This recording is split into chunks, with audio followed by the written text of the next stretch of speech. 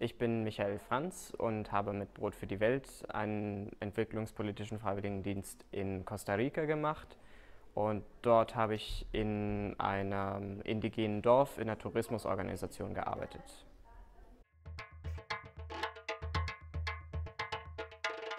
Ich habe Schokolade mitgebracht, da den Briris, bei denen ich gelebt habe, Schokolade heilig ist. Und ich wurde dort in sehr viel Heiliges mit hineingenommen, wurde sehr tief in die Gesellschaft und die Kultur integriert. Und das war für mich eine sehr wichtige Erfahrung, die mir den Dienst auch sehr leicht gemacht hat. Und das ist mir auch im Nachhinein sehr viel wert.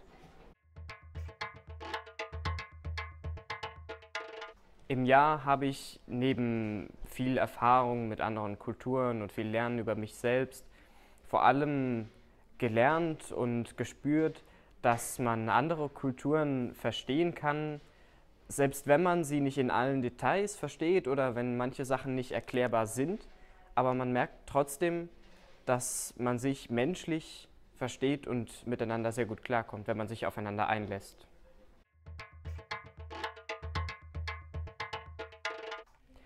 Wenn es darum geht, in welchem Projekt man arbeitet, dann sollte man ein gutes Gefühl haben, in welcher Organisation man arbeitet und ähm, sich eben auch sicher sein im Vornherein, dass es das ist, was man machen möchte.